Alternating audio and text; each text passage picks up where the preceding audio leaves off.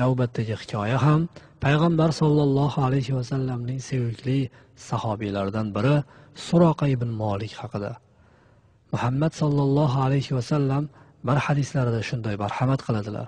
Ey suroqa kisroning bilak uzugini taqqaningda qanday bo'larkin? Erta tongdan quyoshning ahli qattiq sarosimaga tusha boshladi. Muhammad sollallohu alayhi vasallam qorong'u kechada makkani tark qildi degan xabarlar tarqala boshladi. Qurayshning kattalari dastlab bu xabarlarga ishonishmadi. Keyin ular bani hoshim uylarini birma bir qarab payg'ambar alayhissalomni qidira boshladilar. Sahobalarning uylarini birma bir surishtirib hatto abu bakr roziyallohu anhuning uylariga ham borishdi. Ularga qizlari qarshi chiqdi. Abu jahl so'radi ey qizaloq otang qani? Qizlari javob berib men bilmayman qayerdalar hozir. Abu jahl qo'lini ko'tarib o'zining bo'yniga qattiq urdiki hatto qulog'idagi zira yerga tushdi. Quraysh kattalari muhammad alayhissalom makkani tashlab ketganligini aniq bilishgach g'azablana boshladilar va o'zlari bilan isquvor yollab muhammad alayhissalomning izi makkaning qaysi tarafidan ketganligini bilish uchun qidira boshladilar. Izlaridan bo'lgan isquvor savur boshliqlariga dediki izlar shu g'orgacha keldi ular shu yaqin orada. Qurayshning kattalari bu gapni aytganlarida ular xato qilmagan edilar. Haqiqatan ham muhammad sollallohu alayhi vasallam va uning ikki do'sti g'or ichida edilar.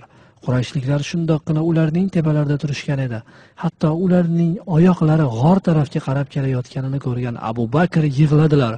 Rasululloh sollallohu alayhi vasallam xotirjam muloyimlik bilan unga go'zal qarash qilib rostgo'ylik bilan shivirladilar. Abu bakr roziyallohu anhu turgan joylarida allohga qasamki ya rasululloh men o'zim uchun yig'layotganim yo'q balki ular sizga yomonlik qilishlaridan xavotirdaman. Saxovatli payg'ambarimiz xotirjamlik bilan ey abu bakr g'amgin bo'lmang. Albatta olloh biz bilan birgadir. Shu ondayoq abu bakrning qalblariga xotirjamlik tushdi va tashqaridagi oyoqlariga qarab aytdilar agar ularning birontasi oyoqlari ostiga qarasalar albatta bizni ko'rib qolishardi. Payg'ambar alayhissalom ey abu bakr gumondamisiz ikki kishimiz? deb axir olloh uchinchisku qurayshliklar orasidan bir kishi aytdi kelinglar g'orga tushib ichiga kiramiz. Umay ibn halaf kesatib ko'rmayapsanmi g'or og'zidagi o'rgimchak inini axir olloh bu inni muhammad dunyoga kelmasdan oldin qo'yib qo'yganku deb javob berdi. Abu jahl uning so'ziga qo'shilib lot va uzzoga qasamki mening hisobimcha ular bizga yaqin va bizni eshitib ko'rib turishibdi lekin hozir ularni ko'rmayapmiz. Ko'zimizni sehrlab qo'yishganligidan shunga qaramasdan qurayshliklar umidlarini uzmadilar. Muhammad alayhissalomni topishlik uchun bo'lgan harakatlari susaymadi. Ular boshqa qabilalarga ham makka va madina oralig'ida yashovchi qavmlarga ham xabar berib muhammad alayhissalomni o'liginimi yoki tiriginimi olib kelgan kishi uchun yuzta tuya mukofot e'lon qilishdi. Suroqa ibn molik al majidiy makka yaqinidagi qudayd degan joydagi yig'inda ishtirok etdi. Shu yig'inda qurayshliklardan biri ishtirok etib ularga quraysh qavmi muhammadni tirigimi yoki o'ligigami yuzta tuya mukofot tayin qilishganligining xabarini yetkazdi. Suroqa yuzta tuyani eshitib o'sha ondayoq qanday bo'lsa ham qo'lga kiritishlikni rejalab qo'ydi. Lekin o'zini qo'lga olib boshqalarni qo'zg'atmaslik uchun biron bir so'z chiqarmadi. Suroqa majlisdan chiqmasdanoq uning qavmidan bir kishi kelib aytdiki allohga qasamki men hozir uch kishini muhammad alayhissalom va uning ikki yo'lovchisini ko'rgandek bo'ldim. Gumon qilamanki ular muhammad alayhissalom va abu bakr va yo'lboshchilardir. Suroqa dedi yo'q e ular yo'qolgan tuyalarni izlab yurgan falonchining o'g'illaridir. Bo'lishi mumkin deb jim bo'ldi haligi kishi. Qavmdan biron bir kishini shubhaga solmaslik uchun suroqa majlisda ozgina o'tirdi.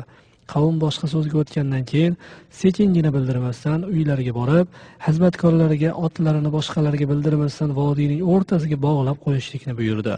Keyin xizmatkorlariga qurol aslahalarni tayyorlab orqa ko'chadan hech kimga ko'rsatmasdan olib borib otining yoniga qo'yib qo'yishlikni buyurdi. Qurollanib suroqi otiga mingashib otini choptirganicha muhammad alayhissalomni qidirib quraysh qavmidan biron bir kishi undan oldin mukofotni olmasligi uchun shoshildi. Suroqa ibn molik o'z qavmi orasida zo'r chavandoz edi. Uning ustiga oti zotdor bo'yni uzun va baquvvat uchqur otlardan edi. Suroqa shoir tabiatli va so'zga usta yaxshi izquvar va yo'llarni yaxshi biladigan kishi edi. Suroqa jon jahdi bilan otni choptirib oldinga intildi. Birdan ot qoqilib suroqa otdan yiqilib tushdi. Bu holdan jahli chiqib nima bo'ldi endi? Bu ot bilan sen uzoqqa borolmaysan dedi. Va yana o'ziga kelib otiga mingashdi va yana choptirib ketdi. Ko'p o'tmasdan yana qoqilib tushdi. Suroqaning jahli oldingisidan ham battarroq chiqdi. Lekin orqasiga qaytishlikning iloji yo'q edi. Yuzta tuyani yodiga olib yana yo'lni davom ettirdi. Hali oti toyilgan joydan uzoq ketmasdanoq muhammad alayhissalom va uning ikki yo'ldoshini ko'rib qoldi. Suroqa qo'lini kamoniga cho'zdiyu lekin qo'li joyida qotdi. Qarasaki oti joyida turganicha yerga kirib boryapti. Uning ustiga chang ko'tarildi. Ko'zlari oldidagilarni ko'rmay qoldi. Suroqa otini qo'zg'atmoqchi bo'ldiyu biroq otini qo'zg'ata olmadi. Go'yo bir kishi uning otini oyoqlarini temir mahlar bilan qoqib qo'ygandek ovozining boricha baqirib muhammad sollallohu alayhi vasallam va uning yo'lovchisiga qarab ey sizlar robbingizdan so'rangki u mening otim oyoqlarini bo'shatib yuborsin va men sizlarga so'z beramanki orqalaringizdan boshqa quvmayman. Payg'ambar alayhissalom duo qildilar. Va uning otlari oyoqlari bo'shatib yuborildi. Suroqaning ochko'zligi uni aldab qo'ydi. Va yana u ularni orqasidan quvdi. Bu safar uning otining oyoqlari avvalgisidan ko'ra yerga ko'proq botib ketdi. Suroqa yana yo'lovchilarga qarab yordam so'rab baqirdi. Men sizlarga bor yo'q ozuqamni va qurol aslahamni beraman. Bu safar allohga qasam keltiramanki ortimga qaytib ketaman. Payg'ambar alayhissalom va ikki sohiblari suroqaga deyishdi. Sening oziq ovqat qurollaring bizga kerak emas. Biz seni bizni ortimizdan ergashishlikni to'xtatib ortingga qaytishligingni xohlaymiz. Keyin payg'ambar alayhissalom duo qilib suroqaning otini bo'shatishligini so'radilar. Suroqaning oti bo'shaldi. Ortiga qaytay deb turganda suroqaga payg'ambar alayhissalom va ikki sohibi sen biz bilan qolishlikni xohlamaysanmi? deb so'rashdi. Suroqa dedi allohga qasamki ey muhammad sollallohu alayhi vasallam siz olib kelgan din to'g'ri ekan. Men bildimki bir kun kelib siz g'alaba qilasiz. Menga so'z beringki men sizning oldingizga borganimda hurmat bilan kutib olaman deb va menga hozir yozib bering. Allohning rasuli abu bakrga yozib berishlikni buyurdilar. Suyak bo'laklariga yozib unga uzatdilar. Ajralib ketayotganda payg'ambar alayhissalom suroqaga qarab dedilar ey suroqa kisroning bilak uzugini taqqaningda qanday bo'larkan suroqa hayron bo'lib so'radi. Forslarning podshohi husro ibn hurmizonni aytyapsizmi? Ha husro ibn hurmizonni dedilar. Qaytayotganda yo'lda suroqa payg'ambar alayhissalomni qidirib yurgan odamlarni uchratdi ularga qarab dedi ortingizga qaytingiz men har bir joyni sinchiklab chiqdim. Ularni topa olmadim. Sizlar meni yaxshi izquvarligimga shubhalanmasangiz ham bo'ladi. Odamlar u kishini eshitib ortlariga qaytishdi. Odamlar u kishini eshitib ortlariga qaytishdi.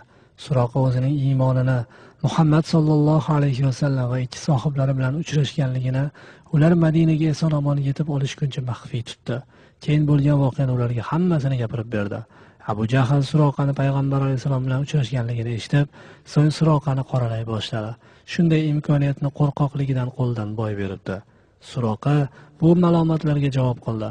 Ey abu hakam agar sen mening otimning oyoqlari botib qolganligini ko'rganingda muhammad sollallohu alayhi vasallam allohning rasuli ekanligiga va hech kim unga qarshi tura olmasligiga senda biron bir gumon qolmasdi. Yillar ketidan yillar o'tdi.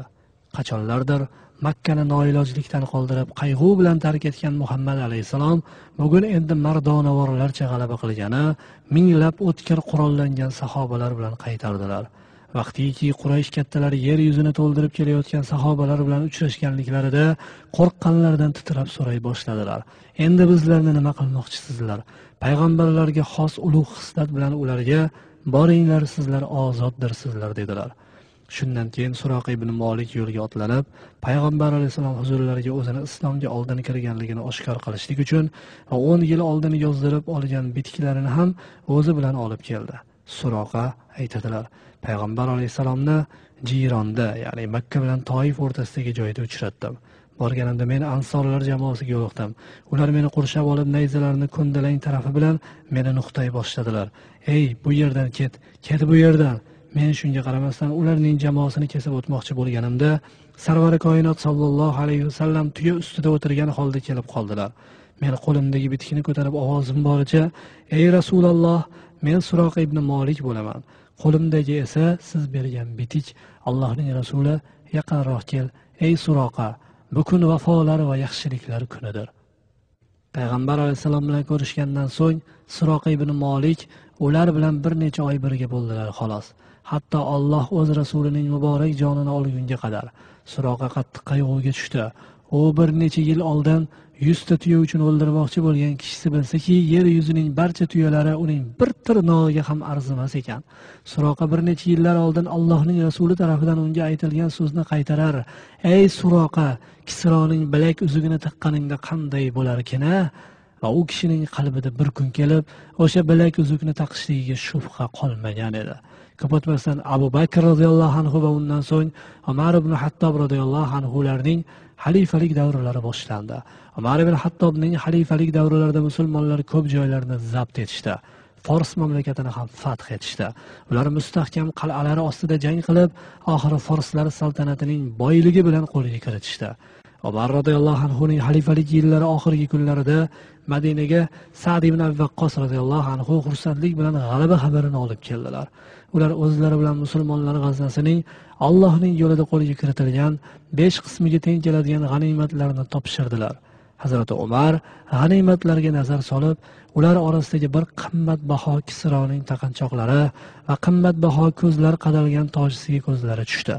Ular orasida antiqa bilaguzuk ham bor edi. Qo'llaridagi kaltak bilan ularni ustini yopib qo'yib so'ng atrofga qarab jangchilar albatta yaxshi va halol ishlashdi.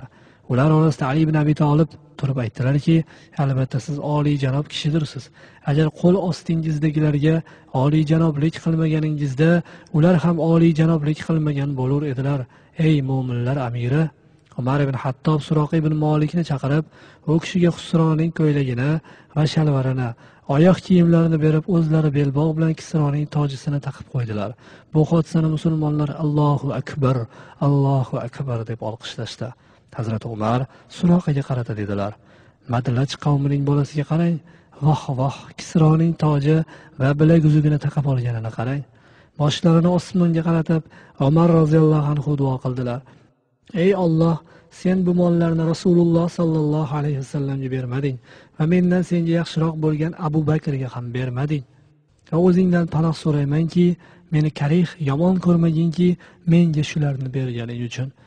Umar hamma g'animatlarni musulmonlarga taqsimlab bo'lgunlaricha joylaridan jilmadilar. Alloh ularning hammalaridan rozi bo'lsin.